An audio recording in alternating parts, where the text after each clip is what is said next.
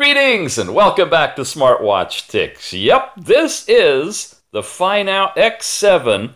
Wow, Android 7.1.1 uh, smartwatch with two buttons, beautiful screen, and lots of technology. We're going to take a deeper dive of this today, and let me start it out by mentioning the bands. I told you in the uh, overview that it was leather, and that is true on the outside, but on the underside, it's a TPU silicone rubber, whatever you like to call it. It is um, not pervious to water, impervious. That means that when you put this thing on, you can exercise and sweat with it and have the leather remain dry remain dry. You hear that? You don't want leather typically to get wet. It also means that this is not a fully waterproof watch, even though it looks like the bands are loose and could almost be removed, which they can't. There's wires that go into the antennas in the bands that run into the watch.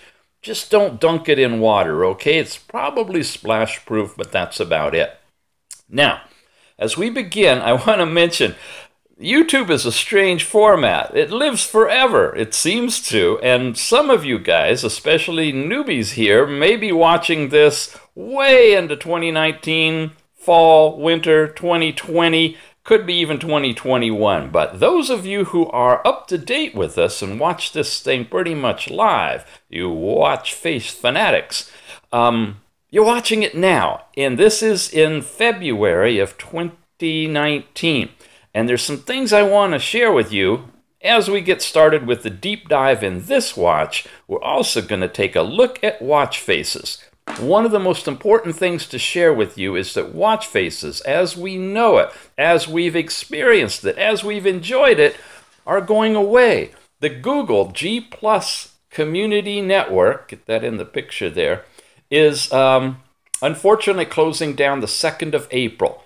If this is happening to you and you're watching before the 2nd of April 2019, then head over to any of these resources that have this little G plus beside them and grab whatever watch faces you see because when the networks are closed down, all of that is going away. And we're going to have to rely on them finding alternate ways of expressing their work. And some of this work, especially these uh, group resources, where folks have been contributing for the last several years, we're probably not going to see them anymore. So, just a word of warning now's the time to do it. This document, so you don't have to type everything in, you can find this on our uh, resource center. Just go to tinyurl.com slash android watches okay and that'll take you right over to a, a nice big resource and one of the documents is the sources for smartwatch watch faces, and all these are clickable links. Okay? Also check the show notes. If I have enough room, I'll I'll put these or at least the, the G plus ones in the show notes for you as well. So grab watch faces while you can because they're going to go away. Now, speaking of watch faces, what's this? it's not uh, lettuce. It's not cabbage. I'll unwrap it in a little bit. We have an unwrapping today, and it has to do with watch faces. Okay, I don't have that to touch, but I have it to twist and it'll open up. Or I can push the button as a last result. Oh good, AT&T says everything is okay. Yeah, I got a SIM card. In a minute, I'm going to play the video, it's a short one, that tests the 4G capability of this watch. But before that, I'd like to introduce you to somebody. First, I got to get to the watch faces. Come on. This is a stock watch face.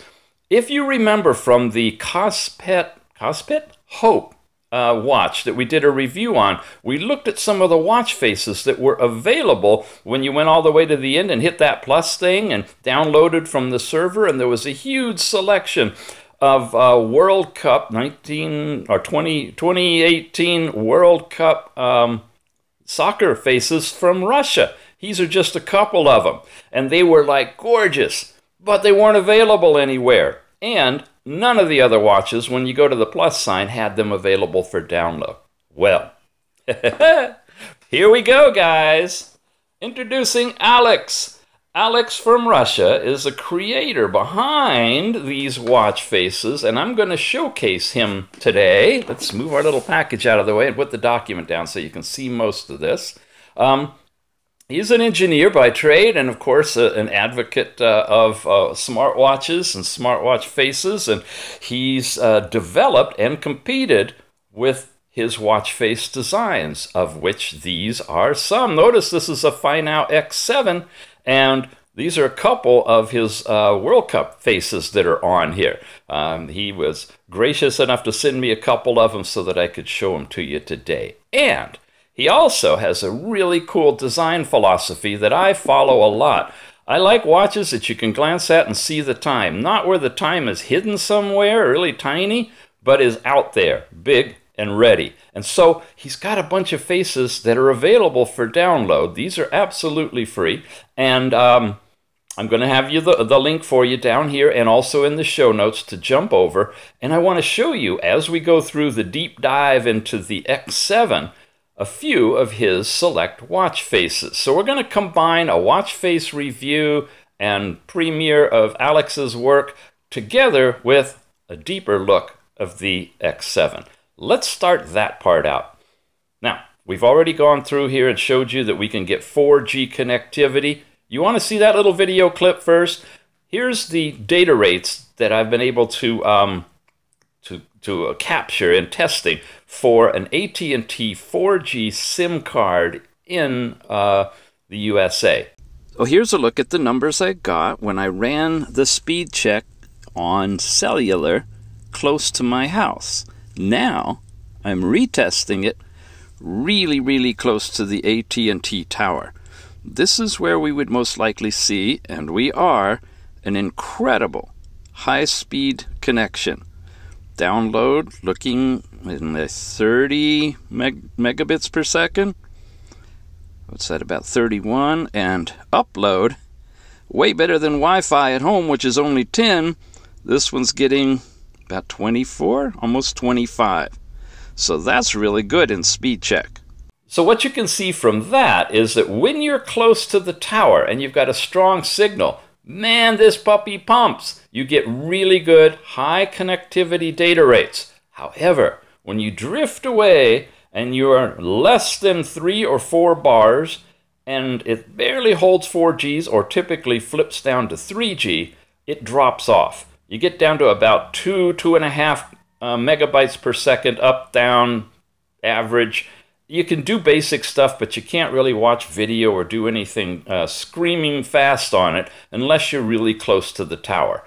That's true also of phones. The closer to the tower, you can get incredible data rates. However, um, when you're further away, because there's so much room for antennas and technology, you get much better connectivity from a phone than you will from a watch. So, they have 4G, but it's not on par with a phone yet. And that's the coverage of cellular connectivity. Let's look at a couple of more watch faces.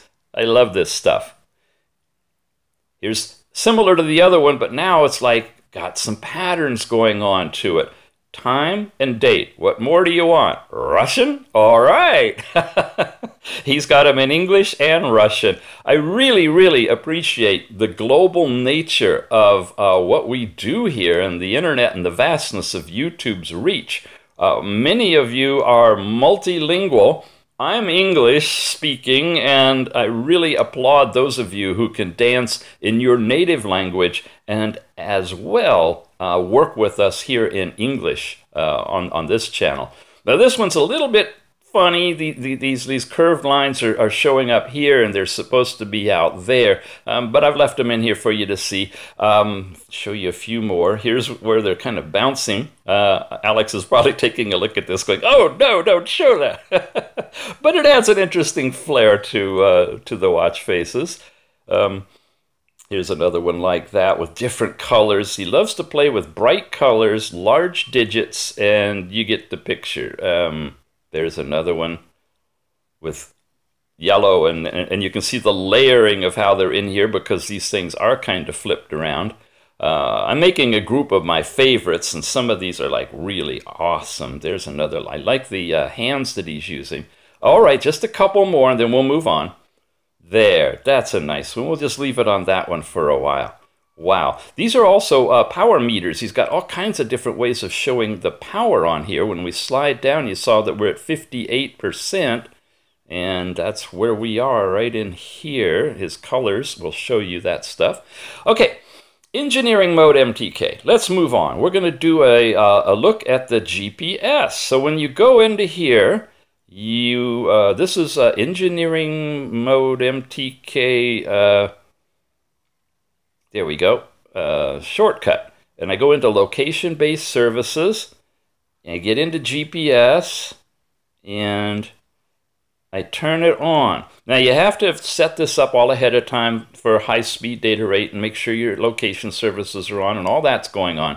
When you do that, you activate GPS, you go to view, you get the satellites. Now look, we have all the different um, types of satellite systems out there.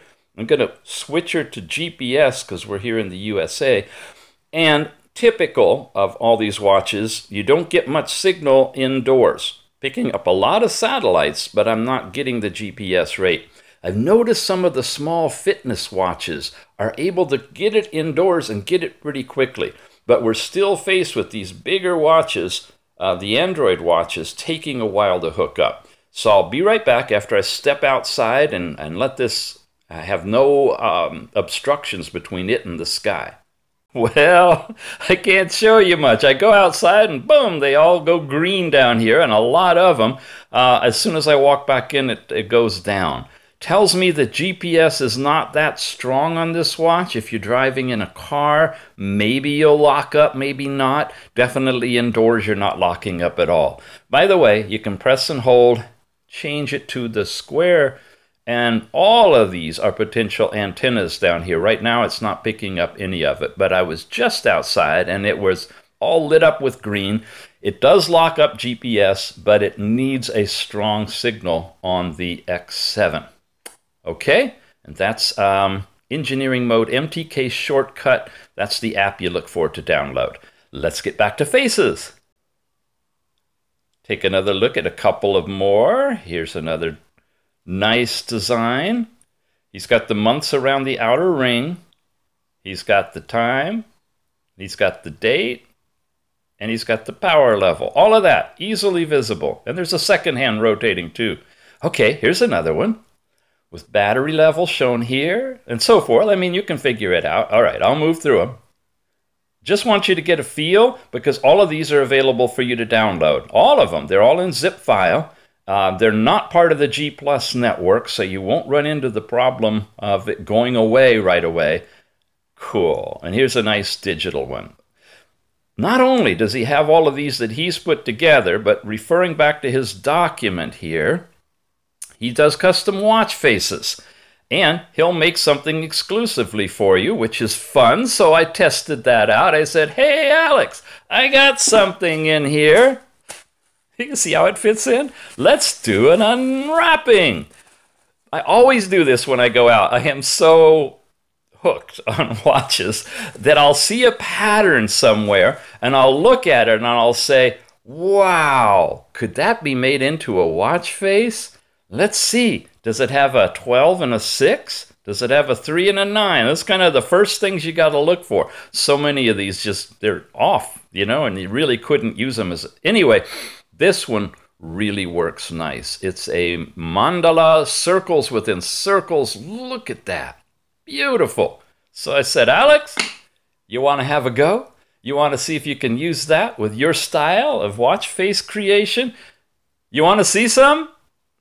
All right, after we do the Antutu benchmark testing for this watch. I know some of you want faces, some of you want tech specs. I got to make it happy for both of you, all of you. I hope it's more than both of you. Here we are. We're going to do the Antutu test. It's uh, going to ask for permissions and shoot, go away, go away. A lot of you guys say, man, did you see the little ant crawling across? I give up already. Um, I'll set this all up and we'll run through the testing. Here we go. It starts out, of course, with this little 3D graphic test, and I like to show at least some of this. It's going to tell you some information about the screen, And then we're going to get the flow sequence. Oh, okay. This one is giving us this uh, this animation. Wow, nice. Now you see it jerking a little bit. If you're playing a game, you'd say, eh, unsatisfactory. Can't work with that. Um, it's the blend of the processor speed and the available memory and the screen resolution and so forth. Most of the Android watches we've tested won't even play this 3D graphic, I'll put it that way. This one is playing it, but it's a bit sluggish, as you can tell. There's some audio going on in the background. I have the speakers turned down on here, so you're not hearing it, but uh, it's subtle. The colors really bloom nicely. The contrast is great. Says it's 1920 by 1080 off-screen rendering but it's a 400 by 400 screen, right? Now, we switch over to the garden. That's usually what we see on most of these watches. It'll play this piece. 90% loaded. Ah, oh, come on, you can do it. We got people waiting to see more watch faces. There we go. Okay. Again, we're looking for smoothness of movement. Yeah, we've we've seen smoother. We have indeed. Um, not sure. Not a lot of other stuff loaded in here.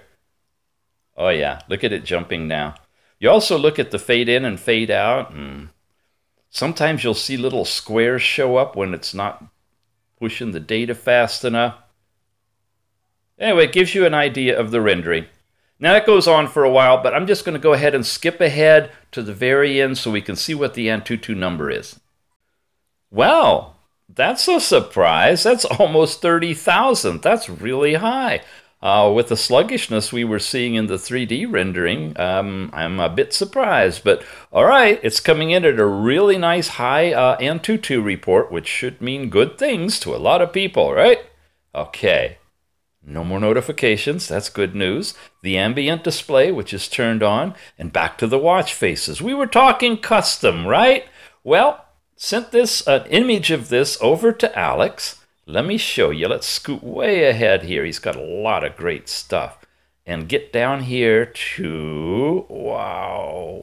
Oh yeah, we'll come back and look at some of oh yeah. Wow, where is it? Where is it? Where is it? Okay. Okay, we're getting close. Here we go. Here we go. Are you ready?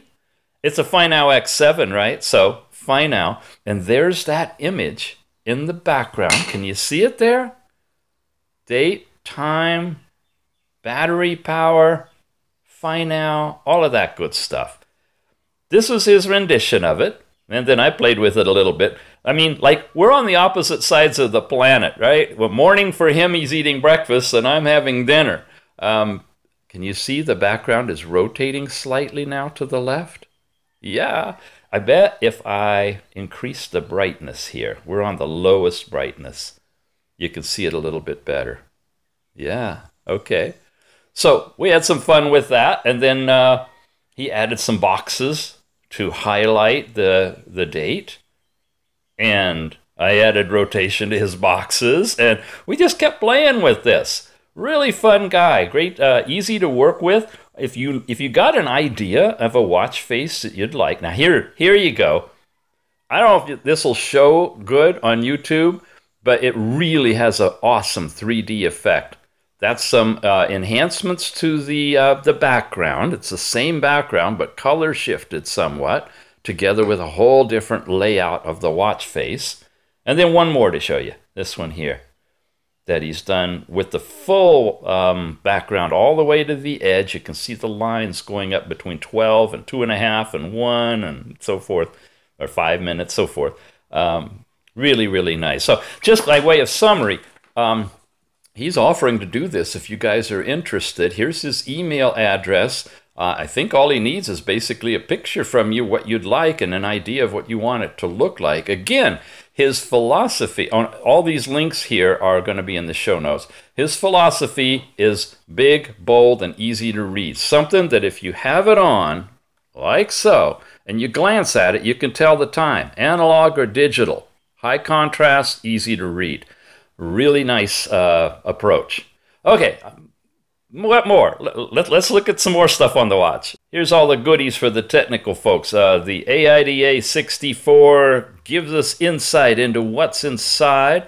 It's Alps X7, an MTK, uh, yeah, 6739 processor, which is what's allowing us to do that ambient display thing.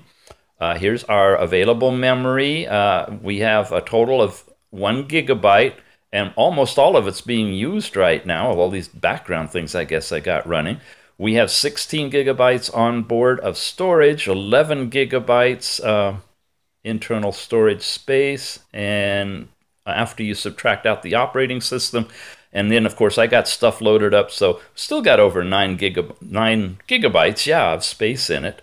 Here's uh, more information on the processor, speed, clock speed, and such and screen 400 by 400 AMOLED 1.39 inch the standard screen we're seeing on all these. But again it's a big watch because we've got the screen on 1.4 we've got the bezel then we've got the edge of the metal bezel and it makes for uh, a massive watch. Uh, yeah it's a massive watch. It's bigger than the um, the earlier X5 series and such but it's got a lot of this other stuff going for it as well. Okay, what else have we got? Telephony, AT&T is in here, um, and so forth. Okay, and battery, uh, what is it, 600 plus um, for the battery? Uh, it's a beefy battery, that's partly why it's so thick, so we should get good battery life out of it. However, and I remind you, I just don't have the time to do the battery testing on all these watches, reviewing. Oh, isn't that sweet? Happy New Year, everybody. Now it's too bright. I got to tune it down. There we go. Uh, just not enough time to run these through the paces of several different iterations of battery testing. So we're really relying on you guys when you get these watches and use them for a while to give us a report back. Do you get six hours? Do you get eight hours? Do you get a day? Do you get a day and a half? Two days? What's your actual usage of uh, results from these watches? That really, really would help everybody, including me, because I really don't have a clue. Uh, unless I take one, strap it on, and use it for several days, which I very rarely have the luxury to do that, uh, then I'm not able to give you guys an honest answer about what kind of battery life we're going to get. I can give you idea about it. And some of the ideas are it's going to be pretty darn good because you got a big battery. It's a big watch. Also, back after the watch faces, one more. Okay. This is one of my favorites. I don't know. I don't know why. I just really like it. I like the colors. I like the zigzag thing. Kind of reminds me of uh, Aztec, I guess, or uh, it, it's a playful fiesta kind of a watch. But it reminds me now, I was saying, of when we get into settings, settings, settings, settings, right here.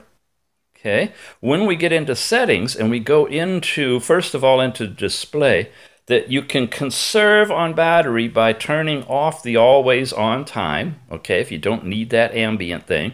Change your sleep time down to as low as reasonable. 15 seconds, 30 seconds, if you're not engaged in your watch a lot, there's no need to have it on for two minutes if you're only glancing at it for four, you know, and actually touching the button causes it to light up and stay on for the duration of that sleep time. As opposed to twisting, it will light it up for a few seconds and automatically go out. But this sleep time has to do with when you actually activate it. You got the notifications to bright screen. That means when you get a push from your phone, it'll light up the screen to show you the notification. If you don't need that feature, turn it off. That's going to save you a lot. The display is always the biggest eater of power. Then you can get down in here, in um, way down here, there's, uh, oh yeah, this is that quick SOS thing in here uh, that's unique, that press and hold that will place a phone call and text. And you get into here now, and you see this background cleaner? This is serious stuff. When you have this turned on, and I'm, I'm really telling you, if you want long life out of these, and this is a new feature you're seeing in 7.1.1 Android watches, all of them, including this one, turn that on. And when you um, turn the watch off, it cleans everything in the background. Uh, it really does. And so it, it's not going to be using any power for anything. Um, that's good and bad. You know, if you've got things like Facebook pushes you're expecting to get or whatnot, uh, you're not going to get them if, of course, you turn off all of those apps. But it is available to you as a severe battery saver, uh, which is different than what we've seen in the past. Then this new thing called third-party app adapter is when this is turned on, it's going to show more content on your apps. It's, I'm deviating from power savings just to show you this. With this on, things like um, Chrome and other browsers and stuff that don't show you the whole thing on the screen and you can't quite scroll to get it, this will format it properly so you can actually read it. It's a little subtle tweak, um, but it's in here. So if you're ever having trouble reading or seeing a web page or an app uh, display, remember you can, from the main screen, he says, press and hold and change it to a square or a circle to see everything, okay? And what we just showed you in the settings, you can do as well um, in the more, in the third-party app adapter. We'll fix that for you. I tend to run with it off because I'm not having that kind of an issue on any of my stuff. Okay, few more watch faces and we'll wrap it up. Come on back here. Oh yeah, it's not going to go into ambient mode because I turned that off. Let's see. Okay, here's another one.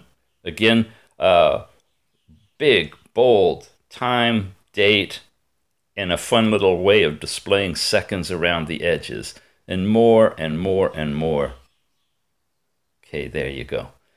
February 7th, today, uh, font in dots. So, Alex, remember, you can pick up his watch faces, a lot of them for free right now. You can contact him to make your own. And um, he's the guy behind all those fancy uh, Russia World Cup faces that we saw on the, uh, the Hope watch from Kospet. Nice to finally put the connection together and meet the author of those.